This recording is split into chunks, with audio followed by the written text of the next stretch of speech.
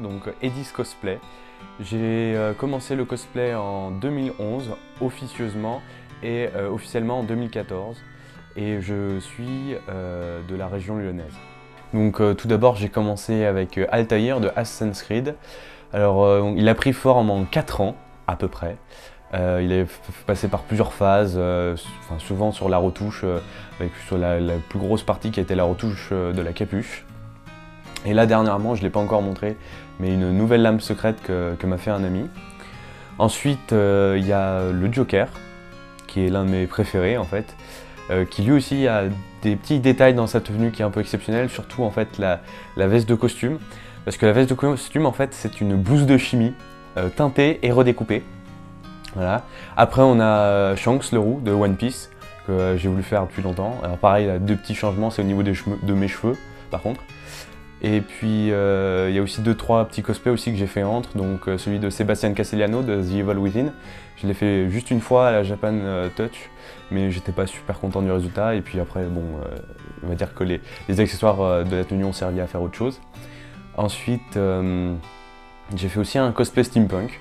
Alors ça c'était vraiment original, j'ai rattrapé un peu tout ce que j'avais autour de moi. Il y avait la lanterne de The Evil Within, il y avait je crois qu'il y avait le holster de, Han Solo dessus, enfin voilà. Si, bah si, bah justement, j'ai fait Han Solo euh, pour justement une, animation que j'ai fait pour la sortie de, Star Wars 7. Et puis j'ai fait aussi un autre petit costume aussi que j'ai sorti qu'une fois aussi pour l'instant, qui est euh, Mad Max. Voilà. Bah là, tout, tout, tout, tout début, alors bah, avec le costume d'Altaïr, en fait, euh, ce costume a été fait en fait pour une fête médiévale à la base, parce que euh, je voulais faire un costume médiéval, mais pas quelque chose de, générique, et vraiment quelque chose qui, qui me plaît et qui me ressemble. Et à l'époque, bah, j'étais fan d'Assassin's Creed, et je me suis dit, bah écoute, euh, ça t'a toujours, toujours eu envie, bah lance-toi. Et le cosplay m'a fait aussi même après d'autant plus aimer le théâtre, etc., parce que je m'y amuse, J'adore incarner mes personnages et justement donner à arborer leur attitude, étudier même, voir. Parfois je dois, ressembler à un psychopathe quand j'étudie leur attitude, quand j'apprends euh, leur histoire, etc. pour vraiment me l'approprier. Mais voilà, et donc je dis officieusement parce que euh, pendant 4 ans, voilà, euh, pendant, non ça fait 3 ans plutôt, euh, bah, j'ai retravaillé euh, mes, costumes, je les ai améliorés de, bah, c'est tout le temps comme ça avec mes costumes, c'est ils s'améliorent en fait euh, au fil du temps. Souvent je montre une première version, puis elle change, elle change, elle change jusqu'à être aboutie, ce qui n'est jamais arrivé encore hein, parce que je suis jamais vraiment satisfait de ce que je fais. Mais, euh, mais voilà, et donc euh, ouais, il a pris 3 ans parce que voilà, au début médiéval, puis après euh, première convention, la première Japan Touch, où là j'avais juste une épée en bois, j'avais juste une ceinture en cuir très simple, sans avoir la vraie ceinture, sans avoir les épaulettes, etc. Une capuche aussi faite parce qu'on comprenait pas comment la capuche tenait.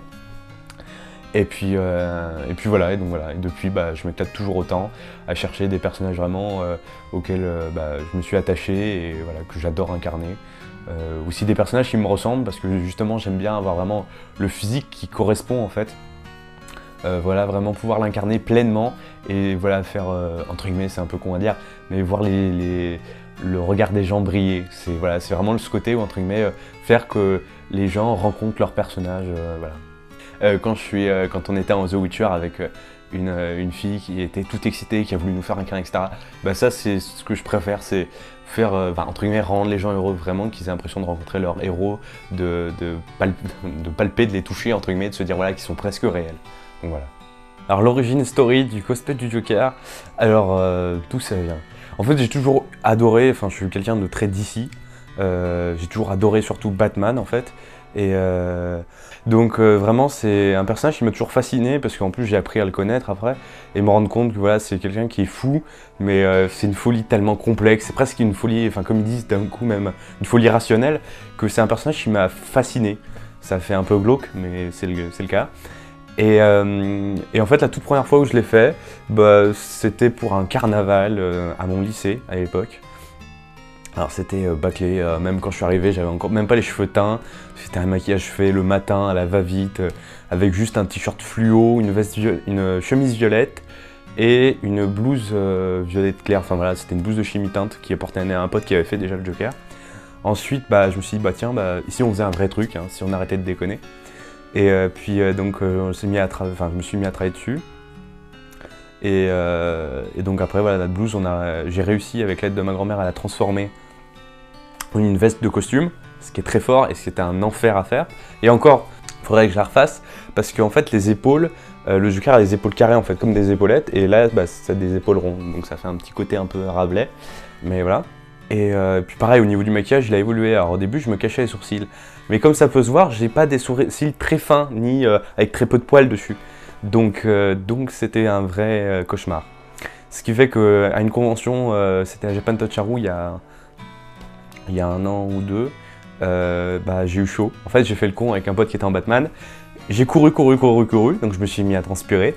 Et la colle que j'avais posée sur mes jolis petits sourcils bah, commençait à se barrer. Mon maquillage commençait à couler. C'était le plus beau jour de ma vie, surtout qu'en plus on passait sur scène. Donc voilà. Et puis donc après j'ai décidé bah, de plus me, plus me cacher les sourcils et de les utiliser parce que après j'ai découvert une version euh, du Joker qui était plus proche de, on de mes traits. Donc c'est celle du film euh, Under the Red Hood. Où, euh, voilà, où c'est d'ailleurs c'est même pas le même doubleur, hein. c'est pas Mark Hamill qui le double mais quelqu'un d'autre, mais voilà.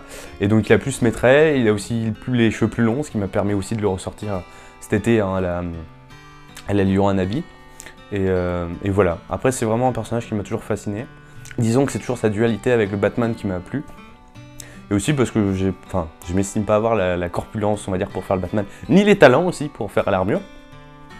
Donc je me suis rabattu sur le Joker, et d'autant plus je m'y éclate parce que voilà, après j'ai aussi les mimiques, j'adore les mimiques du Joker, son, sourire de fou, moi j'adore le faire, surtout qu'avec le maquillage ça rend... Bon là si je le fais ça rendra pas pareil, si avec la barbe et tout, voilà, mais voilà c'est quelque chose que j'adore les mimiques, puis, puis c'est comme un cosplay un peu de Deadpool, en convention tu peux tout te permettre, c'est un truc, moi c'est mon jeu préféré, c'était les premières fois, c'est quand les gens venaient me demander une photo, avec tout leur content et faire euh, la gueule, et faire non et partir. Et à ce moment-là, t'as les gens, alors t'as trois types de, réactions.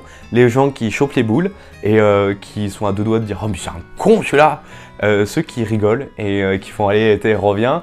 Et ceux qui y croient un peu. Ceux qui font Reviens Ouais, non, mais reviens vraiment Et donc, donc voilà, ça c'est c'était le petit jeu un peu, voilà.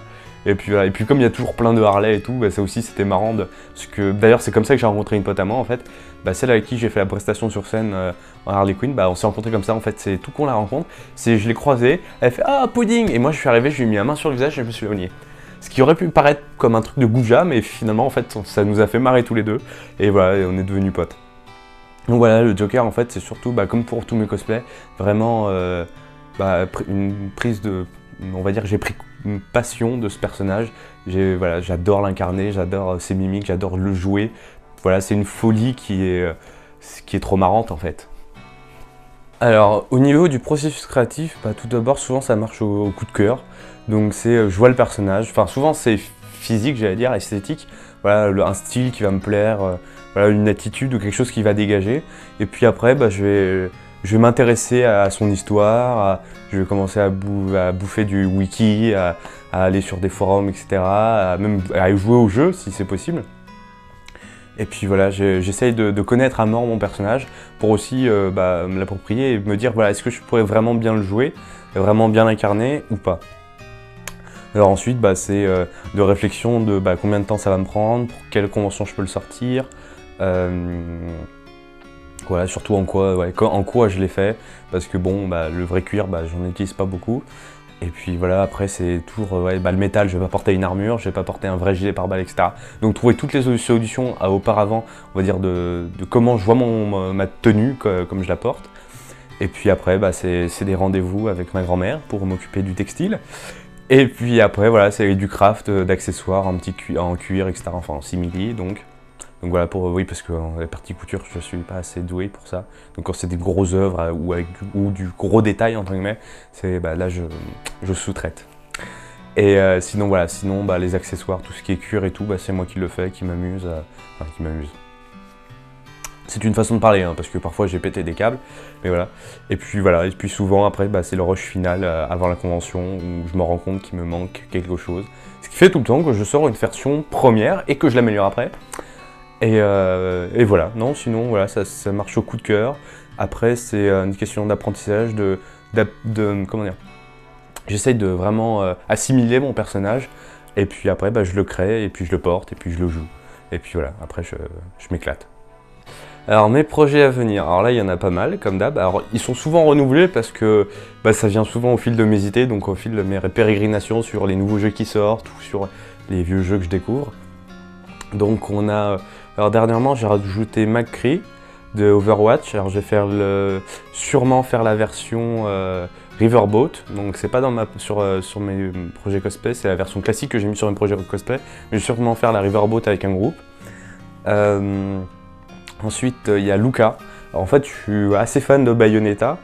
Et en fait, ces dernièrement, j'ai discuté avec, bah, une, cosplayeuse et tout qui fait Bayonetta et qui pour moi, enfin l'une des meilleures, enfin celle qui le porte le mieux, donc Luciole éteinte. Et donc euh, j'en ai parlé et je me dis, il faut vraiment que je fasse Lucas et ça m'a replongé dedans. Ce sera surtout tout euh, Lucas version Bayonetta 2. Sinon, en projet, bah, pour la Clermont Geek, ce sera sûrement Oslot en version MGS5. Et puis après, peut-être un Spider-Man version, enfin, version Marvel noire, donc celle qui se passe dans les années 20. Euh, et euh, il me semble qu'il bah, y a Flynn Rider. Alors ça c'est quelque chose que je tiens depuis très très très longtemps parce qu'en fait on m'a toujours dit que je lui ressemblais. J'avoue que ça, se voit pas. Mais euh, on m'a souvent dit que je lui ressemblais, donc je me suis dit, il faut vraiment que je le fasse. Donc je le ferai un jour. Ça, c'est comme je répète tout le temps, je le ferai un jour. Quand Je sais pas. ensuite, je crois, je sais plus si je l'ai laissé, mais il y a deux. J'avais mis le, le bouffon de Assassin's Creed, dans le multijoueur, mais je crois que je l'ai enlevé parce qu'il est vraiment trop compliqué. Euh, sinon, il y a Nightwing, parce que j'adore Batman. Donc euh, Nightwing, c'est le personnage auquel je m'identifiais le plus quand j'étais plus jeune, et c'est mon perso préféré. Et euh, il y a quoi d'autre? Il me semble qu'il y a aussi The Big Bad Wolf de The Wolf Among Us, enfin de Fable, la série Fable. Euh, qui est aussi un personnage que j'adore. Et puis en fait, euh, pareil, c'est parce que je trouve que j'ai de la bonne gueule pour le faire et les cheveux assez longs, enfin même maintenant trop longs. Il y a le Winter Soldier aussi, pareil pour la raison, c'est que je me suis regardé dans la glace, j'ai dit ah j'ai les cheveux parfaits pour le faire. Puis j'ai commencé à m'intéresser à l'histoire du personnage. Et puis j'ai fait ah ouais être génial. Donc là bon, là en fait je devais déjà le sortir depuis pas mal de temps. Mais j'ai hésité sur la, façon de faire euh, le bras en fait, le bras mécanique. Euh, voilà, puis sinon j'ai des potes, bah, de toute façon j'ai un pote un Iron Man, un autre en War Machine et un Captain America. Donc normalement, si je le fais, ça sera pour, pour cet été. C'est possible que je revienne à la Japan Expo et qu'on fasse un groupe justement Civil War. Et puis, euh, je sais pas si je l'ai laissé, Eret, Eret de Dragon. Enfin bon, il y avait passé un temps Eret de Dragon, que je, trouvais marrant. Et euh, voilà, il me semble, si j'en ai oublié, c'est que je les ai oubliés. Non, il me semble que j'ai tout fait, voilà. Bah, c'est le plus classique, c'est faites-vous plaisir. C'est un peu général, tout le monde le dit, mais c'est vrai. Il faut, euh, faut aimer son personnage pour parfaitement l'incarner. Et puis il faut pas s'arrêter à, comme, fais moi, à une version qu'on ne trouve pas aboutie. Il faut bah, se replancher dessus, retravailler dessus et se dire que s'il n'est pas prêt à temps, et bah, déjà il sera bien. Et puis, comme on m'a souvent dit, euh, c'est pas le costume qui fait tout. Il y a l'attitude, il y a l'intention qu'on met dedans.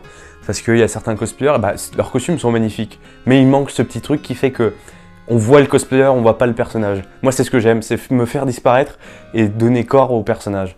Donc voilà, c'est s'amuser, se faire plaisir. Et voilà, euh, c'est voilà, se faire plaisir, c'est plus important. Euh, se rendre compte qu'on est passionné par cette chose et tout donner. Dans certaines limites, bien sûr. Mais voilà,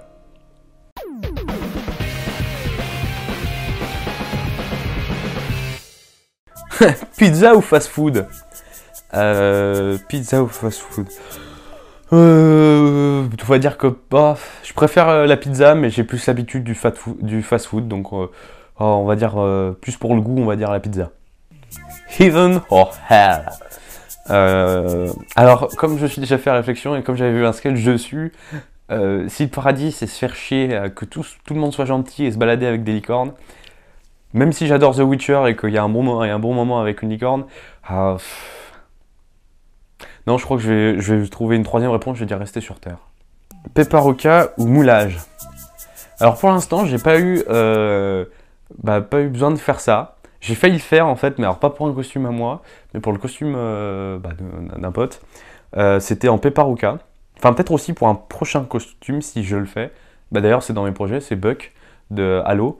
Mais je pense que je veux. Maintenant que j'ai un pote qui est plus doué en ça, ça sera sûrement plus moulage et voir bah, maintenant impression 3D même carrément.